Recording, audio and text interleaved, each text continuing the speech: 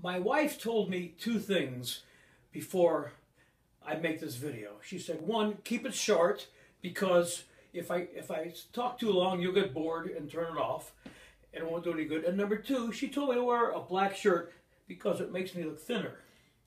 Now let's talk about metal theft. My name is Meyer Turken. I have developed over the last 45 years 2 million square feet of property. I'm a property owner and a victim of metal theft. As we know, metal theft is a scourge upon society as well as a scourge to us property owners and to anybody that has a building, whether it's a commercial building or a church or a school. We read in the papers where everybody's getting their air conditioning stolen. I have written a booklet that I'm passing out that explains in pretty simple terms what metal theft is all about. Most of us are not experts. This is a, a primer of sorts, what you can do to reduce metal theft. First, there are three steps that you must know about metal theft. The first step is prevention. There are many, many ways to, to help prevent metal theft. You can't prevent it totally, but there's many ways to do it, and uh, they're in that booklet. If you are a victim of metal theft, there's two things you must do.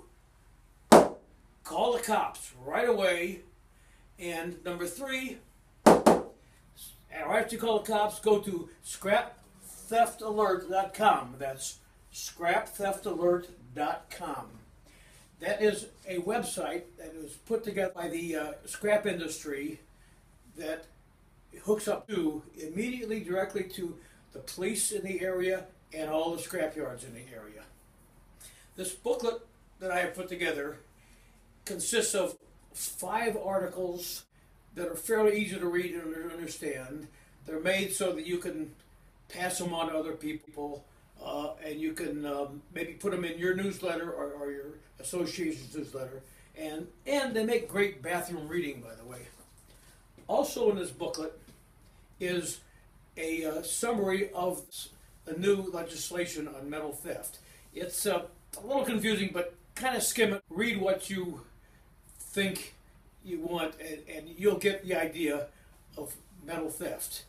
Uh, a couple of things in the law is that Scrapyards cannot pay cash for non-ferrous metal.